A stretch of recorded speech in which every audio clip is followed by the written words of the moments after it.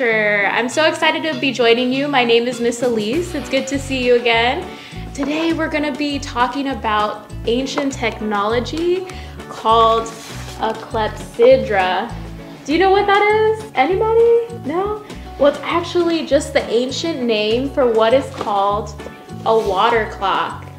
And a water clock is super cool, but because before we had any clocks that hung on the wall or even the alarm clocks you have in your room or on your phone, we use what were called water clocks to tell time. And some of the oldest water clocks date back to the 14th century, so over a thousand years old.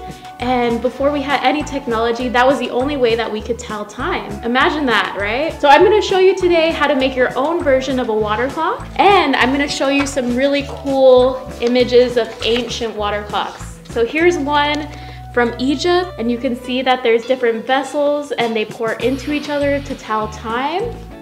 This is another one from hundreds of years ago as well. So you can see they come in many different forms. And today we're gonna be talking about a specific one that you can make from easy materials that you can find around your house. So are you ready to get started? Let's go. All right, everyone. So we're gonna make our own version of the ancient water clock by using materials you can most likely find around your house. So you can either choose to use a water bottle. Um, for the project, we're gonna cut it in half. So you need the whole water bottle when you're using this option. The other option is you can use um, a jar or just a large cup and a small cup. So the only um, thing you need to remember if you're using this option is they need to fit into each other without sliding all the way down. So see how it has room on the bottom? So you can use something like that or a tall cup like that. Either way works fine. Um, you're also gonna need some water and this is gonna help us to tell time. And you'll need a thumbtack or um, a push pin and for this, you might need some parent help or person help, whoever, whatever adult is around you. Ask them for help with little sharp objects. And then um, you'll need a permanent marker. And if you're using the water bottle option, you'll need some scissors. All right, so now we're gonna actually make our ancient water clock. The first step is if you're using your water bottle, you're gonna cut it in half. So I already did that with mine, but the easiest way to do it is to have your, have your parent um, hold some scissors and cut a little slit around the water bottle and then just kind of cut around it to get it in half. And then you'll have two pieces like this. Once you get to this part, you're gonna take off your water bottle cap like this. And this is when you're gonna need your adult or parent help. Um, you're gonna use your push pin and you're gonna push into the bottom of the water cap like this to make a hole. All right, so once you get your hole into your cap, you're gonna screw it back onto your water bottle like that.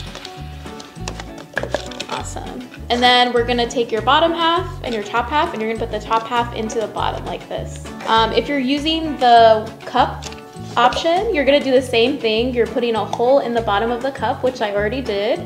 And then you're gonna place it into your smaller vessel or larger vessel, depending what you choose to use. So these are our two ready to go water clocks.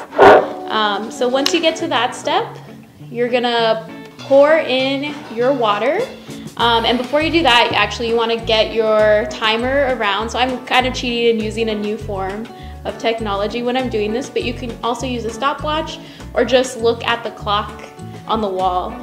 So I'm pulling up my stopwatch on my phone like this, and I'm gonna have that ready or you can have somebody else be the timer to help you out with it. All right, so now that you've gotten to this step, we're gonna pour in our water into our water clock and we're gonna have our phone ready so you can press start as soon as you pour it, okay? So go ahead and pour it. All right, and I'm gonna press start on my phone. So as you can see, the water is dripping down into the bottom and you wanna wait till your stopwatch reaches one minute and this is gonna be how we track each of our minutes. So Let's give it a little bit of time and when we reach a minute, we're gonna get our marker ready and we're gonna mark it off.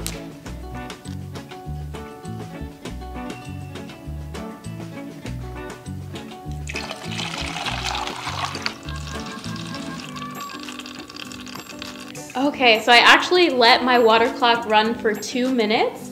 And the cool thing about the water clock is you can also experiment with what's called the flow of water.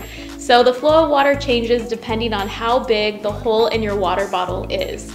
So as you can tell for the one on this side, the minutes look really big and chunky because the hole was bigger.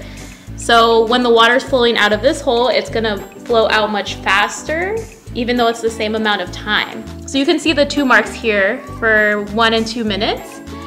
Versus this bottle, I made the hole much smaller, and so the amount of water flowing out of it is much smaller, which means the minutes are gonna look much smaller. So you can kind of see here, comparing the two minutes on each of the water bottles.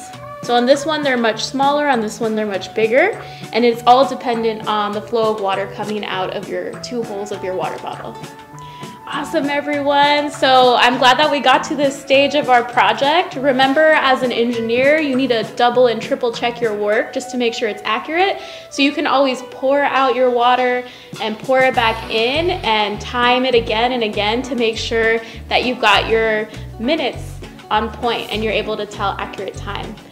Um, so yeah, we did it. We created our water clocks. And I'm so glad you joined me on this STEAM adventure. Um, I hope that you'll come to the Anaheim Public Library and check out lots of books on different science experiments and other STEAM projects that you can do so you can keep grow growing your scientist and engineering skills. And we hope to see you soon at the Anaheim Public Library. Thank you so much for joining me. Bye.